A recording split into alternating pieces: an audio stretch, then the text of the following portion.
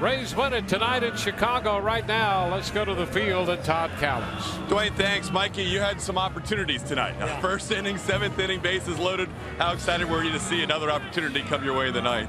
Uh, very, very excited. Uh, like you said, I had two uh, opportunities with the bases loaded, and I didn't really come through. And um, had a shaky first swing that lasted bad, but you know, I kind of settled myself in there and tried to get the foot down early and just see it up. And he left the curveball up, and I was able to put a good swing on it.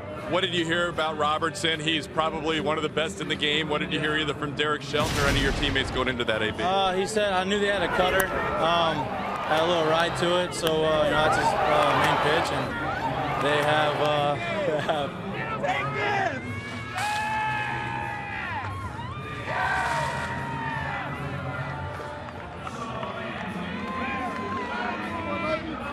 Um, he had a cutter, so I was waiting on that, and uh, they said if he throws a slider, see it up, and he threw it up, and um, I was able to react to it.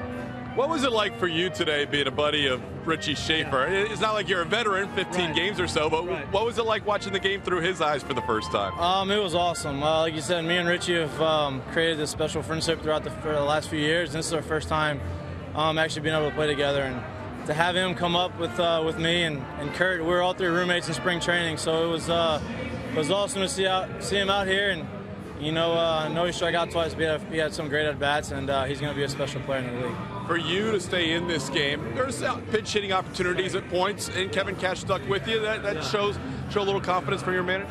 Absolutely. You know, um, one of the things he told me the first time I came up was, you know, I need to get comfortable here, and um, that he had confidence in me, and he knew that I could do it, and um, him leaving me in there, and um, you know, letting me get through that opportunity and, and come through. Uh, shows a lot, you know, by trust of him and me, and and I uh, appreciate it. And hopefully, there's a lot more of those to come. Congrats on the big hit, Mikie. I appreciate it. All right, guys, back to you.